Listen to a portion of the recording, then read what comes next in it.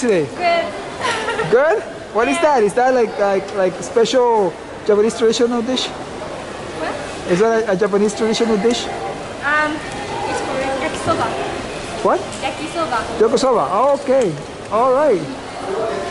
So you, you put egg. Um, um, waitress. A waitress. Yeah, Oh, really? Inside. Okay. Where are you? I'm from Canada. Ah! Yes, Toronto. Yes. So we're doing basically we're doing a special report on. It's weird, I think, Yeah, it's a little weird.